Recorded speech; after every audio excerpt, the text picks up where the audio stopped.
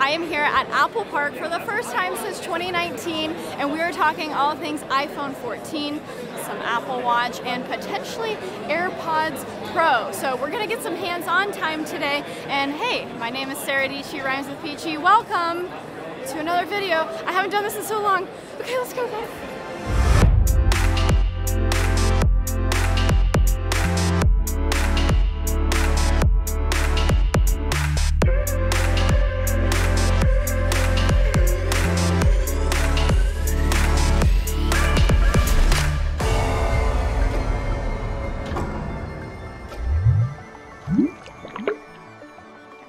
We're here with a normal iPhone 14. Now, the big change is there is no iPhone mini, but it's being replaced by the iPhone 14 Plus. So this big size that was always reserved for the Pro models, you are now getting in the normal iPhone 14 lineup. So you have the 6.1 inch display right here and the 6.7 inch display. So if we go over here to the pros, it is the same sizes. So something tells me the iPhone 14 Plus is going to be a very popular model and Apple also says it has the best battery life ever in an iPhone. The iPhone 14 has the same A15 chip that we had last year. However, it is a slightly enhanced version uh, with a five core GPU instead of four. The iPhone 14 Pros have a chip bump from the A15 to the A16, as well as this feature that stole the show is no, not the pill, but the dynamic island. Yes, they named it. More on that later. Mm-hmm. Okay, back to the iPhone 14. So the main sensor is letting in more light. It has a bigger 1.9 inch aperture, so it's a larger 12 megapixel sensor. And the true depth selfie camera has a huge upgrade as well. So it features that larger 1.9 aperture as well. And for the first time ever, it actually has autofocus. So you're gonna notice much more depth with the selfie camera. Deep Fusion upgrades enable better colors and better low light images that they are calling their photonic engine, which just means better in low light. So we're getting two times better for the ultra wide and 2.5 times better on the main camera in comparison to the iPhone 13. Action mode is basically image stabilization on steroids, so think gimbal-like video, and they also added 4K 24 frames per second to cinematic mode. Um, I'm really glad they did limit this to the Pro model, so you're gonna be getting that with the iPhone 14. Another big feature is uh, SIM cards are now a thing of the past, so you just set up an eSIM with your carrier and you know you don't have to worry about security risks of someone taking out your SIM card and swapping, being able to use your phone number. The iPhone 14 has a new feature called crash detection, which is a new feature that is also coming to the Apple Watch Series 8. So if you get in a car crash, it will connect you to help. Another big upgrade is emergency SOS via satellite. So if you're somewhere without cell service and stuck, but you have access to the sky, basically iPhone will guide you in the right direction to access that satellite and it'll connect you to emergency services. And for less dramatic moments, you can basically use that same satellite feature to send out your location to family and friends via the Find My app. So this feature is free for the first two years of the purchase of the iPhone 14 and it is available in November.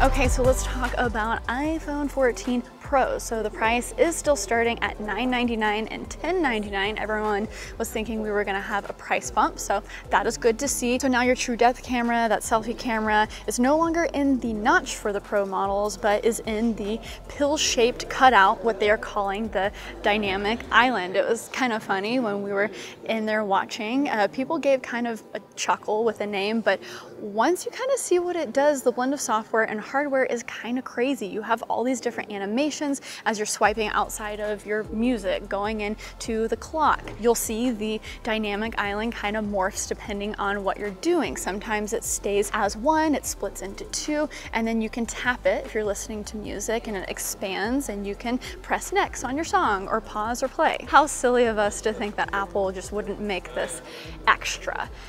I would say it's almost like a touch bar for your iPhone. So for the colors, we have space black as well as this new purple. We have gold and silver. So a lot of the updates have to do with not just the camera, but the Super Retina display. So it is brighter. You can now view HDR content at 1600 nits and the display can even go up to 2000 nits in sunny days. As someone who now lives in Texas, I welcome that.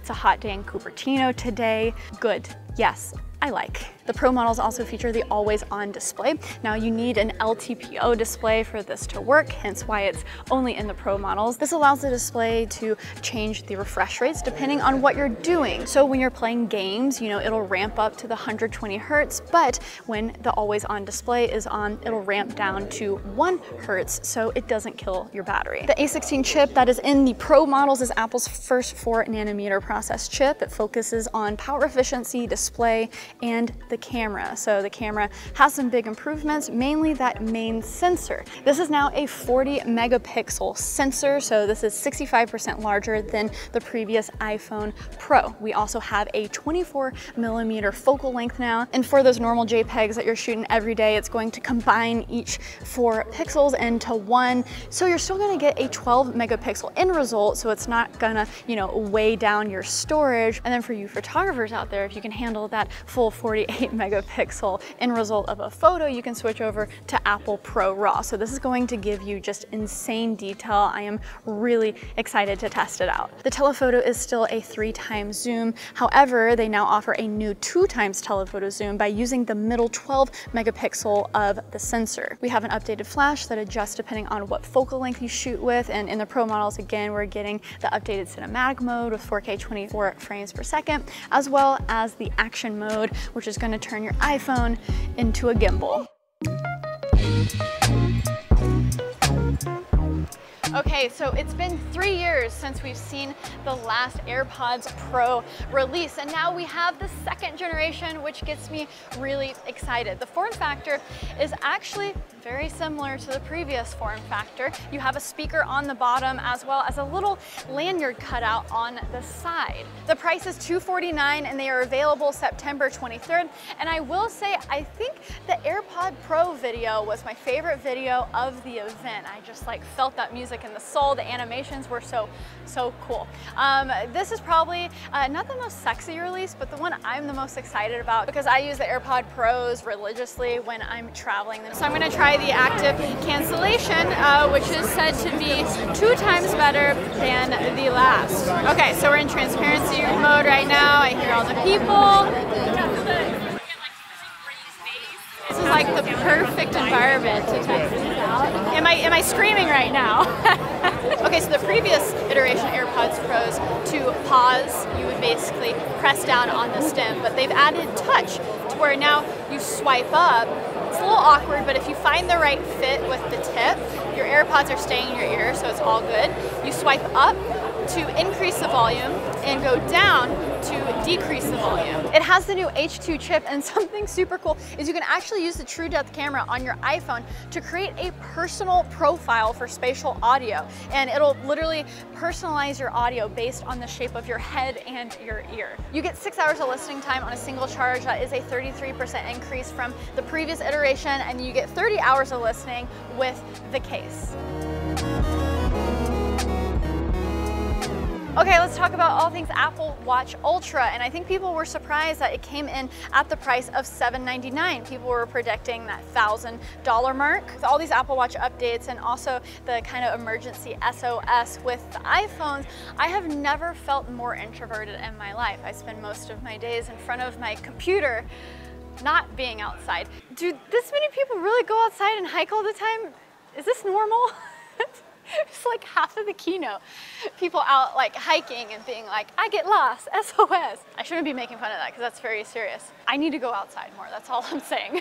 that's all I'm saying. So speaking of that, it has L1 and L5 GPS, which is great for dense city conditions. They gave the example of people running the marathon in the middle of Chicago with all of the skyscrapers above them. Apparently it's very hard to track in those conditions. It also has a super loud sound that can alert anyone that's around you if you're out in the wilderness alone hiking up to 600 feet. I feel like this is super, super helpful. And then also some really great features for you divers out there. The screen is huge and very flat. And also there's a new button. So this is the orange action button and you can assign it to make your watch do different things. The digital crown is bigger and now kind of housed in this bump on the side of the watch. They added a second speaker and better mics so you're able to call someone if you're in those extreme conditions. Again, if you have snow or crazy wind whirling around you. And the Compass app is fully redesigned. It gets 36 hours of battery life on a single charge and up to 60 hours with a battery optimization update that they said they will release this fall.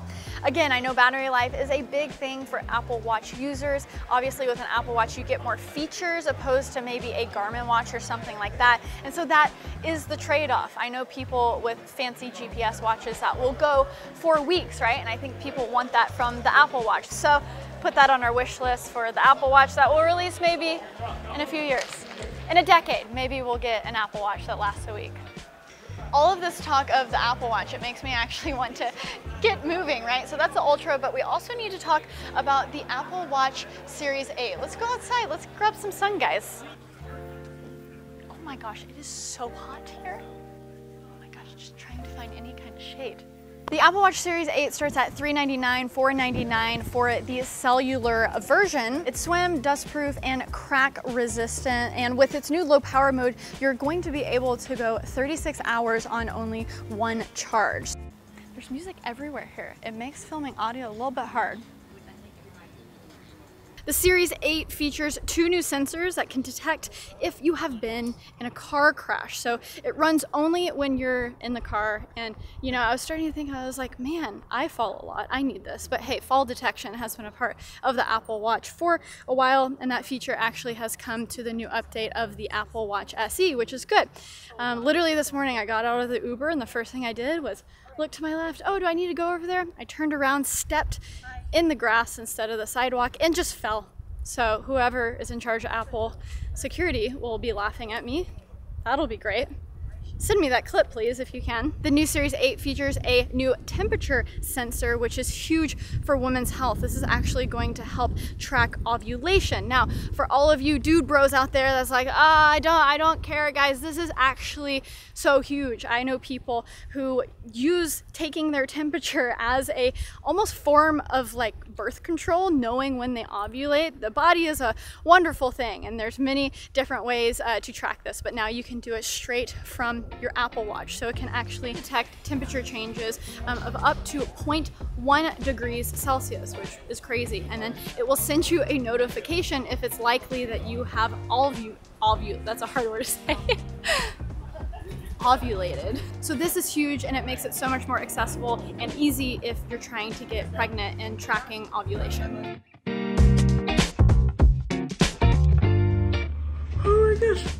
Hi guys, okay, editing Sara here. How are you? Thank you for watching this video. Like, subscribe down below. I just released a line of tech stands, an iPad stand that I have always wanted. It is great for note takers. You can bring it down, draw, take notes, but bring it back up. There's also an awesome dual charging phone stand uh, where you can put a Qi wireless charging device down below and also an iPhone or a MagSafe compatible phone up at the top and they're all heavy duty super metal stands and there's only a few days left on the Kickstarter that we just launched. Um, it has been so excited to see. We are just so far past our goal. Um, but yeah, I wanted to shout out on this video in case you haven't gotten a chance to look at it. Um, and it was a lot of fun. It was a lot of fun. I'm kind of out of practice. These same day film, edit, upload. I'm gonna go to bed now. Thanks guys, stay peachy. Okay, bye.